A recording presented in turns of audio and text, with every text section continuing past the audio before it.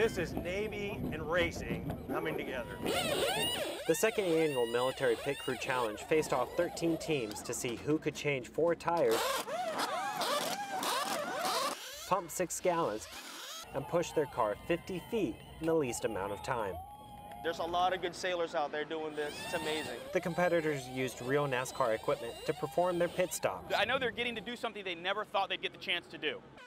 The challenge is part of the 15th annual Coronado Speed Festival, which is part of Fleet Week San Diego. Point's just to have a good time, to bring something to Fleet Week that gives back to the men and women that give so much to us every day.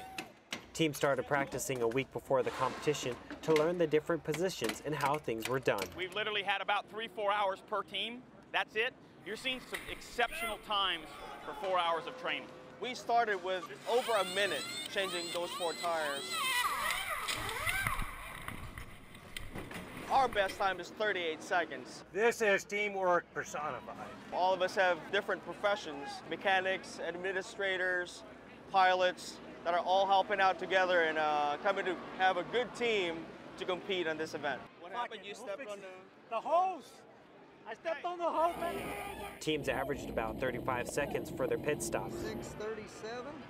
In less than seven days, they're only six seconds off a professional NASCAR team.